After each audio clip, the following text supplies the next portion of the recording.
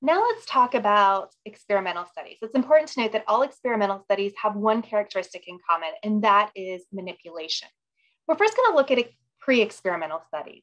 If a scholar aims to obtain preliminary research data to ter- determine effect, the effectiveness of something, such as an intervention or a treatment, he, she, or they may want to use a pre-experimental design.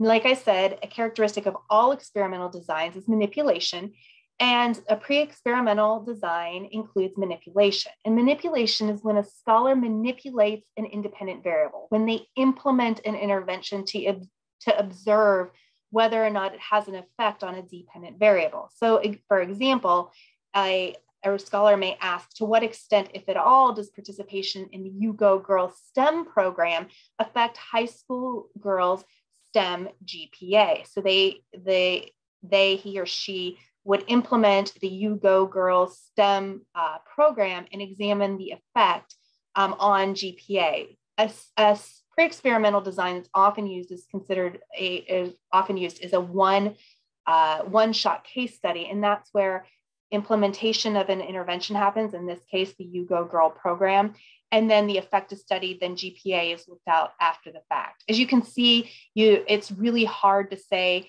that this program is what caused maybe the GPA, the effect on the GPA.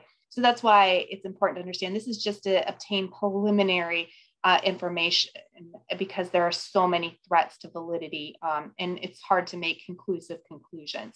But um, use a, a scholar would use a pre-experimental design if they want to obtain preliminary research data to understand how an intervention may have an effect.